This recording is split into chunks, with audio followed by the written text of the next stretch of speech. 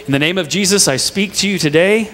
Amen. Good to be back with you. We had a good time in Kansas City this past weekend uh, watching our niece get married, and so it was a nice week, but of course, it was a nice weekend last weekend. It's nice to be back with you. Well, many of you know that I was born and raised in the great state of Indiana, the Hoosier state. Sometimes I get people to ask me, now, what exactly is a Hoosier? And what's that word mean? Well, oddly enough, no one really knows for sure. The best evidence it comes from the term comes from the southern United States down south, and they use it as an insult to somebody who's a country bumpkin, a rustic person, right? Actually, this use of the word is exactly how people from St. Louis use it. I didn't even realize until we moved to St. Louis that anybody outside of Indiana even used the word Hoosier. But when we got to St. Louis, yeah, people would use it in this derogatory way. They'd say, yeah, those people up in Hannibal or across the river, they're just real Hoosiers because they were roughnecks or hicks, they thought, I guess. I don't know. I now, hey now, nothing's wrong with being a Hoosier. Now, you just got to understand the proper use of the word, right? Well, now, of course, Purdue fans who were born in the state of Indiana, they say this Hoosier by birth, Boilermaker by the grace of God, right? But Hoosier by birth, it kind of made me think, born of Indiana? That's kind of a weird thing to say, right? Still, there are many guesses on what the origin of the word Hoosier means. Some have even gone so far as to suggest that because Indiana people, Hoosiers, are so inquisitive that when they get to know you, they ask, well, well, who's your dad and who's your mama?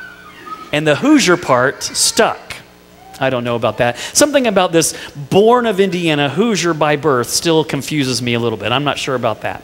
But what I do know is this, and would you please read this verse with me here on the screen? Everyone who believes that Jesus is the Christ has been born of God, and everyone who loves the Father loves whoever has been born of him. Born of. Born of. Now, we don't really use that phrase much, do we? Or if at all. We don't say like, well, Johnny was born of his parents, Bob and Catherine. We don't. We just don't say that. But for, for today, for use today, I'll use that. I was born of Joan and Ed. Isn't that a nice picture there? Yep. 1965, December of. Yeah, that means you know how old I am now. That's Joan and, Joan and er, Ed. God used Joan and Ed Wheeler to bring me into the world and to raise me as his child. I am born of Joan and Ed, not because of anything that I believe. Let's go back to that slide. Let's stay back on that one. There we go. Let's leave on that one. I am born of them, not because of anything I believe or confess, like the Bible verse said before. I am born of Joan and Ed simply through genetics. And believe me, I thank the Lord that I was born of them. No question about it. I am born of them. Now we can go to the next slide. Here's a next verse to contemplate, to read real quick to yourself. Now, I'm not the only one born of Joan and Ed Wheeler. My two older brothers, Keith and Brad, they are born of Joan and Ed as well. And my mom and dad, because they know God's word, they required us to love them and to love each other. And that seems like weird. We don't think of requiring someone to love another person. But that's what God's word says. And mom and dad are students of the Bible, hardly miss a Bible class. A lot of their friends go out to brunch, or a few of their friends go out to brunch after worship, and it makes them sad. They're like, well, wait a minute, we still got God's Word to, to study together with our brothers and sisters. So they are students of the Bible. And they know that God says that we are to love one another, to love them, our parents and our brothers and sisters. So that's what we were as a family. If we wouldn't love them or each other, it would be saying as if we are not born of Ed and Joan and that we really weren't a family if we wouldn't love one another. God wants a family to love each other like this. But He doesn't want that love just for biological families, does He? God wants that for His spiritual family as well. Everyone who believes that Jesus is the Christ has been born of God, and everyone who loves the Father, now look at this part, loves whoever has been born of God. You see that? The Apostle John wrote this, and he wrote it in the first century, about 90 AD. He wrote it to the congregation. The congregation needed a lot of help, so he wrote a lot about love, John did. And they needed to hear about the love of God and loving each other. You see, there were some people in the congregation who were teaching bad stuff. Some were even denying that Jesus is God. And so John's writing them a letter saying, Look, don't do that. He was taking on a, um, the role of a father figure, John was, and saying, My children, don't listen to the bad theology. Uh-uh, that's not from God, that's from the devil. Look to the doctrine that you've been given from the apostles that say that Jesus is the Christ, the Son of God. He wanted them to learn that, but also to treat each other like the family of God. So, we who believe that Jesus is the Christ, the Son of God, we who believe that Jesus is the Messiah, the one sent from the Father to be the Savior of the world, to save us from our sin, from our death, and the devil, we are born of God. That's our real origins. That means we are, have one Father, and that means we are one family. Would you please read this one with me, too? By this we know that we love the children of God, when we love God and obey his commandments. For this is the love of God, that we keep his commandments. Notice this, excuse me. Loving God, loving his other children, and keeping his commandments are all interconnected. It's a package deal. You know, sometimes, once in a while, I'll run into somebody who says, Well, I just love God with all my heart, soul, strength, and mind, but I really have a problem with Christians. and I understand that in our sinfulness, but the fact of the matter is, you really can't love God and not love fellow Christians. It's, that's inconsistent. Or sometimes people will say, Well, I really love God, but I don't obey all of his commandments. Didn't fit my life, didn't fit my lifestyle. Too much for me to do.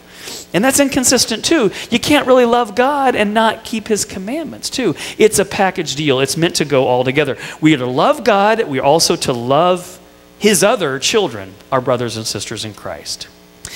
Let me ask you this when we're talking about love, think of our congregation peace. Is our love for one another visible? When people think of peace, people in the community think of our congregation peace. Do you think they say, wow, look at how they love one another? Or do you think they look at us and go, well, they're kind of cold and indifferent to one another? I hope not. I don't know. I pray that that's not the case. Like I tell my confirmation students, I say, look, I get it. You're all in different sports and different clubs, different activities. You may not be best of friends, and that's okay. You may not have a lot, of, a lot in common outside this place, but you do have the one thing that's most in common. You are children of God the Father. You are the family of Jesus Christ. So, whether you like it or not, your brothers and sisters in Christ, you need to love each other and be kind to each other. At least in the hallways at school, acknowledge each other. You know, do one of these if you want to say hi or uh, whatever. I don't know. However, they do in seventh and eighth grade. I don't know. I've, it's been a long time since I've been there. So just remember that you are brothers and sisters in Christ, even if you're not BFFs, right? In the first three centuries, the Roman pagans would look down their nose at Christians. They would often be persecuted. The Christians would be persecuted even unto death. But you know what those Roman pagans said of those Christians that they persecuted? They admitted that this look how those Christians love one another brothers and sisters in Christ. As you know, we live in a society that's becoming harsher and harsher to Christians in our society. I hope that it's, there's relief. I hope that it gets better. But as I read the book of Revelation, it might do some of this stuff, you know, better than worse. Peace, but then persecution, then peace, then persecution. But as I read Revelation, sooner or later it's going to get really, really, really, really bad. When it does, I pray that at least the pagans, those who don't trust in Jesus for salvation, at least they'll look at us and say, Look how they love one another. Now, don't get me wrong. There were plenty of times in my young life and maybe in my older life when I didn't show love for my parents or for my three brothers. Being the youngest of three boys, and I was four years younger than the middle one. So they were two years apart, and then I came four years later. I was pretty much my brother's punching bag. Noogies were an almost everyday occurrence.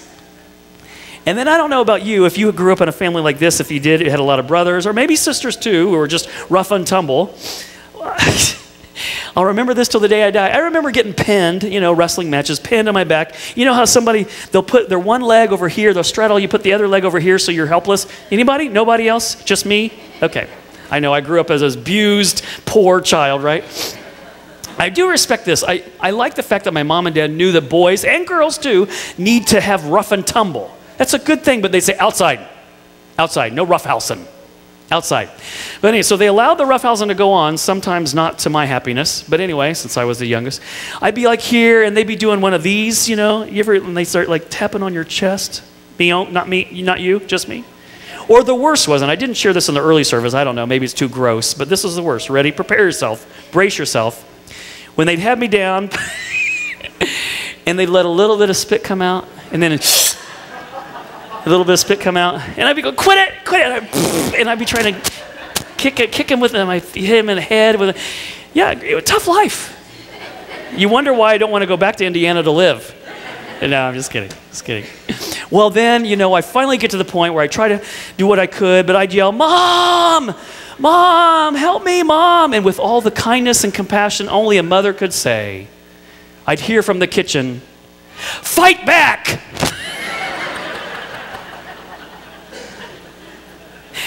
I don't know if she was trying to make me tough or she was just tired of hearing me complain. So I don't fight back.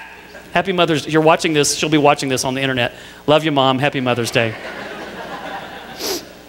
Maybe you're probably at this point rolling your eyes, going, okay, now I understand why Pastor is the way he is.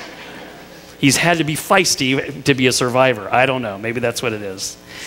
But when it got to be too much, when that all got to be way too much, we were reminded, they would step in, we would be reminded that we were a family and that families love one another and they sacrifice for one another.